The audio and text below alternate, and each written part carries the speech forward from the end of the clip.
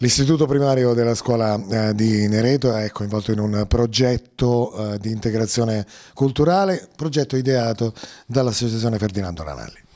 Sì, è un progetto davvero importante per la tematica e per i protagonisti. L'associazione Ranalli di Nereto eh, ha progettato, ideato questo, questa iniziativa che ha proposto alla scuola primaria di Nereto e la preside Lancia Prima lo ha subito accolto portandolo in consiglio d'istituto.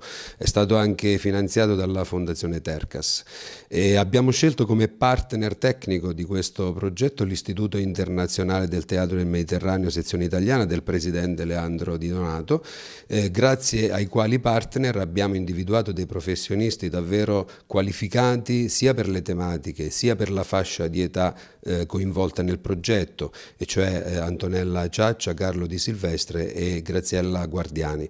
Un progetto che eh, si è avviato nell'ottobre 2017 e terminato ora a gennaio del 2018 ed ha avuto come tematica fondamentale l'integrazione culturale tra diverse etnie.